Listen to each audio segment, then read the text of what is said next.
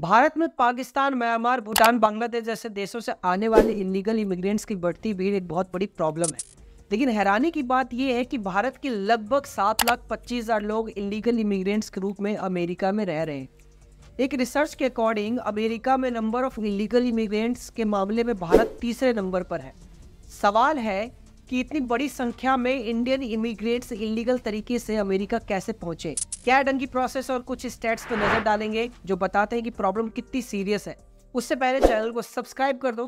आपको एक सेकंड लगेगा, लेकिन हमारी बहुत हेल्प होगी।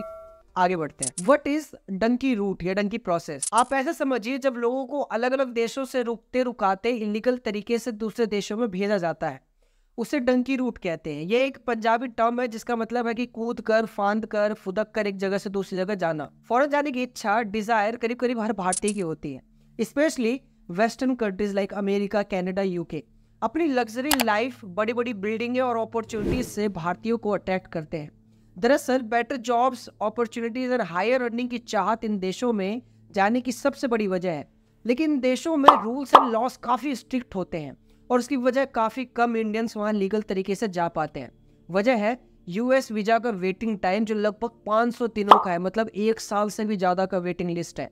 यही वजह है इंडिया में एजेंट्स लाखों रुपए लेके उससे उन्हें इलीगल तरीके से भेजते हैं, क्योंकि लीगली एजेंट्स इंडियंस को नहीं भेज सकते हैं, इसलिए वो इलीगल तरीके से लोगों को भेजते हैं, जिसे डंकी रूट या डंकी फ़्लाइट के नाम से जाना जाता है। क्या आपको पता है, जब ये इलीगली तरीके से एंटर होने से पकड़े जाते हैं और केस कोर्ट में जाता है तो वहाँ क्या बोलते हैं कि हमें भारत में डर लगता है। और ये अपनी मर्ज़ी से नहीं बोलते, इनको पहले इनके एजेंट्स बता देते हैं कि अगर पकड़े जाओ तो यही कहना। क्योंकि लगभग सभी देशों में जब कोई इलीगल इमिग्रेट्स पकड़े जाते हैं तो उनका रीज़न 99 परसेंट टाइम यही होता है कि हमें डर लगता है। हमें वहाँ मारा जा रहा है, जिसकी वजह से उस देश की इमेज तो ख़राब होती है, साथ में वहाँ के टूरिज़्म पर भी काफ़ी फ़र्क देखने को मिलता है। अब आपको स्टैट्स बताते हैं। ध्यान से सुनिएगा एंड तक। अमेरिका में इनलीगल तरीके से घुसने वाले करीब संतानवे हज़ार भारतीयों को गिरफ़्तार किया गया था। लगभग एक लाख इंडियंस और ये डाटा 2022 से सितंबर 2023 तक का है। According to US customs and border protection data गिरफ़्तार किए गए छियानवे भारतीयों में से तीस भारतीय यूएस कनाडा बॉर्डर पर पकड़े गए। वहीं इकतालीस भारतीय यूएस मैक्सिको बॉर्डर पर क्रॉसिंग करते समय गिरफ़्तार हुए।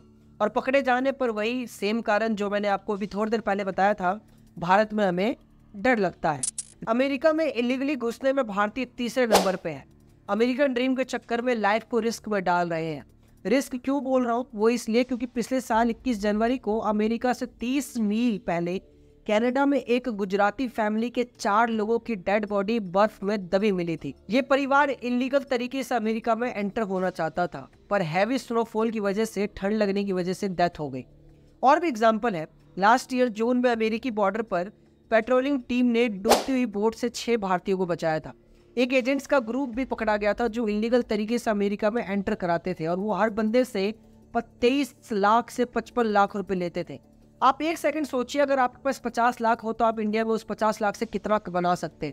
लेकिन कुछ लोग फॉरेन ड्रीम्स के चक्कर में एजेंट्स कह लो या स्कैमर्स इनको पैसे दे देते हैं। अच्छा जो पकड़े जाते हैं, उनके साथ दो चीज़ें होती हैं। फ़र्स्ट, या तो डायरेक्ट डिपोर्ट किया जाता है जिस देश से वो वापस आए हैं। सेकेंड उनको जेल में डाल के उनसे ज़बरदस्ती जेलों में काम कराया जाता है। अमेरिका की जेलों में बीस हज़ार से ज़्यादा भारतीय इलीगली लॉज हैं। इन जेलों में अनडॉक्यूमेंटेड कैदियों से जबरन मजदूरी करवाई जाती है। इसके ज़रिए जेल मोटी कमाई करती है, लेकिन इन्हें ना के बराबर पैसा दिया जाता है। मजदूरी करने से मना करने वाले कैदियों को अंधेरी कोठरी में डाल दिया जाता है। एक्चुअली अमेरिका में प्राइवेट कंपनीज़ जेल चलाती हैं। इन जेलों में जितने ज़्यादा कैदी होंगे, कंपनियों को सरकार से उतना ज़्यादा फ़ायदा होगा। जेलों को 80 परसेंट काम इनमें रहने वाले कैदियों से करवाया जाता है। इसमें cleaning repair work washing clothes काम है। इसके अलावा बाहर की कंपनियाँ भी जेलों को टेबल चेयर्स पर भी सामान बनाने का कॉन्ट्रैक्ट देती हैं।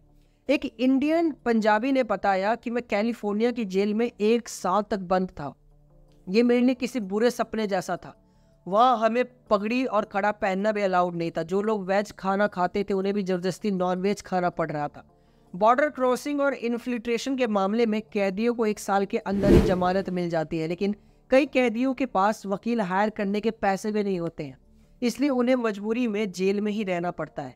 2022 में अमेरिका में गिरफ़्तार हुए साठ हज़ार में से चालीस हज़ार भारतीयों को जमानत मिल गई, लेकिन बीस हज़ार अभी भी जेलों में बंद हैं। तो दोस्तों, कुल मिला के बात यह है कि अगर आपको दूसरे देश में सेटल होना है तो होइए, उसमें कोई बुराई नहीं है। लीगल डॉक्यूमेंट्स के साथ, चाहे जितना टाइम लग जाए। ये एजेंट्स वेजेंट्स के चक्करों में ना पड़े लाइफ खराब हो जाती है। वीडियो पसंद आया हो तो चैनल को सब्सक्राइब कर दो शेयर कर दो। धन्यवाद हरण महादेव